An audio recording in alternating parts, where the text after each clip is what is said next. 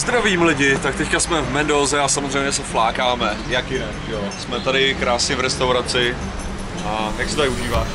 Já? Super. Co ty Honzo? Zatím dobrý. A Lenka? Uh, parádní, výborný.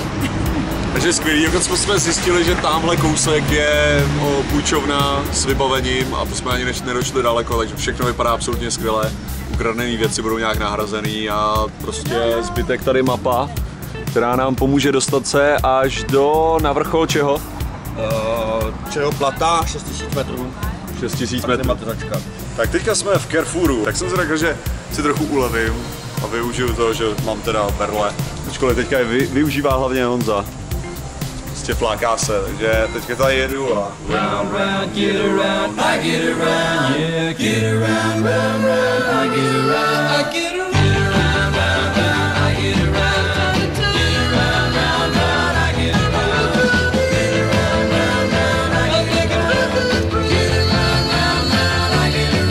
Dneska vyrážíme na ten úžasný perfektní trek, který bude trvat pravděpodobně až do pátku, takže já minimálně budu nějakou dobu teďka bez internetu a bez všeho, což se mi teďka, protože furt nemám ten USB typ C, no teprve teďka za chvilku budu mít. No a já teda musím říct, že s mojí píštělí a s mojí patou a s mojím prostě vším, ale není to úplně ideální chvíle, kdy na tenhle ten trek jít, to řeknu úplně totálně na férovku, ale prostě musí to být, no, musí to být, takže budu doufat, že se mi to uzdraví během velkého fyzického výkonu. Proč ne, že takhle by to taky mohlo fungovat. Každopádně tady nej, nejvíc jde o to, abych se dostal asi do 5000 metrů, kde se prostě budu nadechávat, nadechávat. Pokoření té hory samotný, tam na to nezáleží. Teprve v slezu a hlavní jakou kagu a to je to nejdůležitější. Tady v horách je to tak krásný. No, samozřejmě, že nejsem ještě v horách, protože jsme museli vyřídit spoustu věcí, jako povolení a tak, no a prachy, protože se tady nedají pořádně vybrat. Takže dnešní den ještě vyřizujeme tyhle ty povolení a asi doufám, tak za tři hodiny už vyrazíme konečně do těch hor. Jsme v Inca Expeditions. A tady zařizujeme důležité věci, jednak vyplňujeme formuláře, krásný, ale hlavně nejdůležitější, co tady děláme, je zařizujeme mulu aby nám mohla odmít. My vlastně mulu hlavně chceme hladit, to je jediný ji bereme sebou. Teda. Takže budeme mít mulu a potom budeme mít, mimochodem, mula stojí 600 dolarů, 300 dolarů cesta tam, 300 dolarů cesta zpátky, což předpokládám, že je víc než helikoptéra.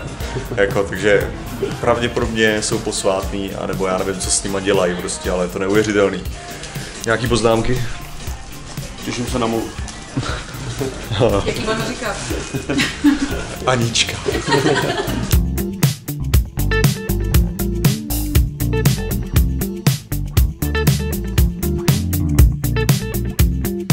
Tak jsme tady s Western Unionem vybrali prachy, aby jsme šli do kanceláře, aby jsme šli zpátky zaplatit ty samý prachy k tomu samému okýnku. Takže budeme vypadat jak banda kreténů, což jsme, takže myslím si, že aspoň správně reprezentujeme. Jsme konzistentní. Nápadně máme penízky.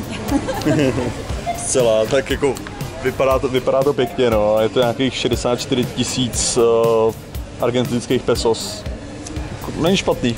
Není špatný, ale za chvilku odevzdáme nějakých 70% toho. 36. Tak takhle platíme těžký prachy na povolení. Last.